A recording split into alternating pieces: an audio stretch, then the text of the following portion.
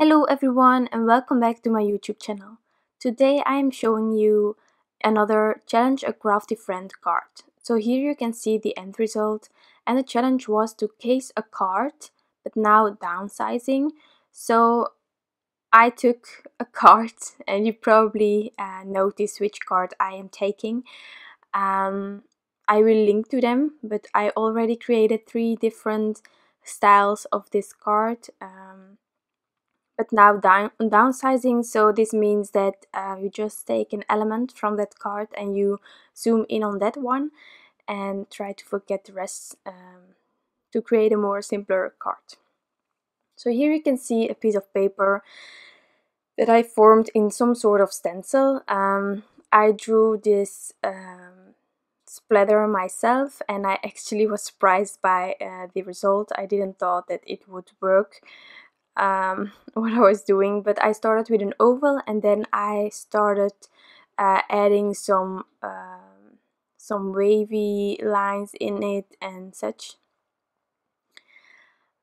It took me a while to cut out that part.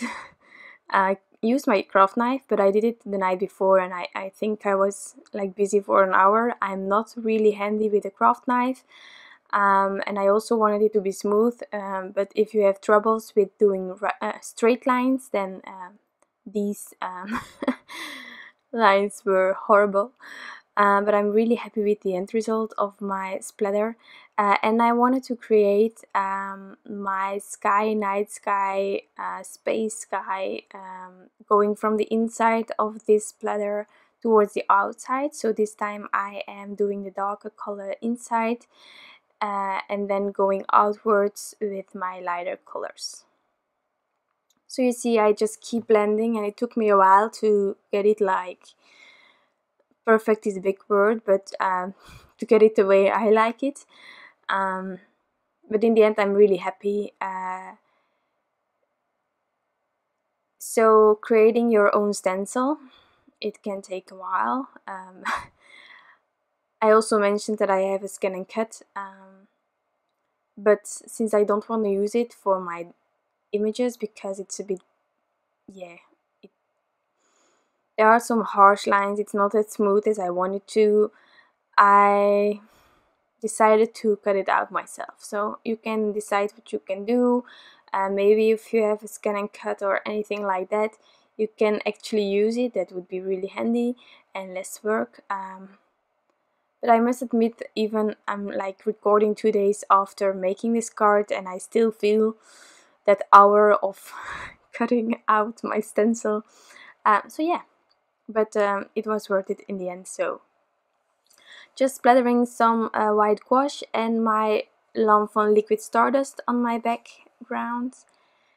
And then I can peel everything off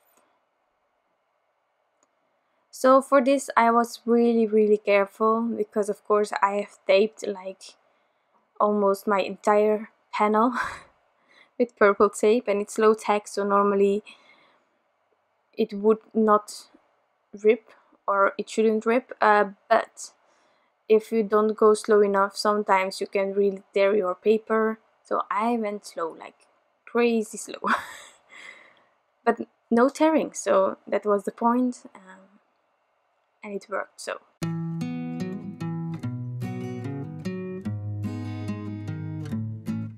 So this was the moment where I went really really slowly because at this point the stencil sort of can come loose um, so I didn't want to shift it, I didn't want to rip anything that's why I'm going extra slow now.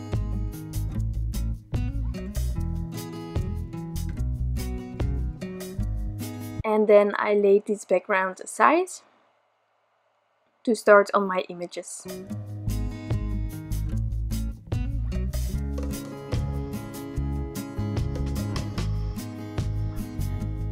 So there are a few spots where it's a bit blurry, uh, but I'm going to partially cover that up with uh, some stars so that you won't see that. I stamped out the images already on Neenah using uh, Gina K Design Amalgam ink and I'm going to color everything in. Um, with my Copic markers you can see uh, two uh, text balloons um, only going to use one but I didn't know yet uh, which one I wanted to use which um, sort of uh, twist I wanted so I stamped it out twice uh, just to be sure also the big star I only need one um, but I'm go going to color them in both and then see which one worked out better. So for the rest of the coloring I will be putting on some music and I will be back after all the coloring is done.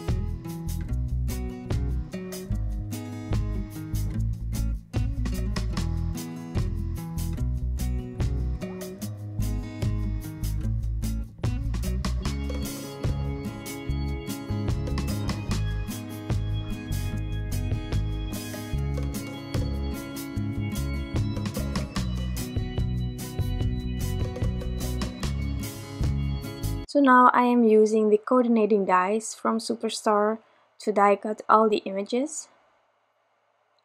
Next up I decided to heat set my background uh, to be sure um, because of course you have the liquid stardust and then the gouache and also the distressing but that one dries faster uh, but just the splattering uh, on its own can really stay long uh, wet for a long time. So just to be sure I am heat setting it. And it's not necessarily heat set enough.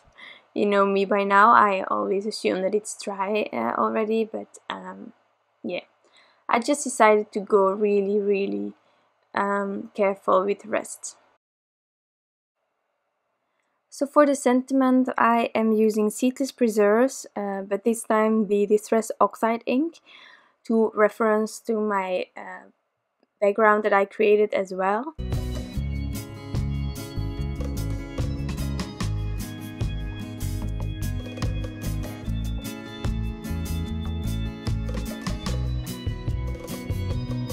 So I'm stamping it out multiple times to get a really good impression and then I am going to use some Wow embossing powder clear matte dull and you cannot see it on the package but this one was sent to me by a lovely uh, crafter from Belgium and she is called Snow Coals and I'm going to link her Instagram um, down below.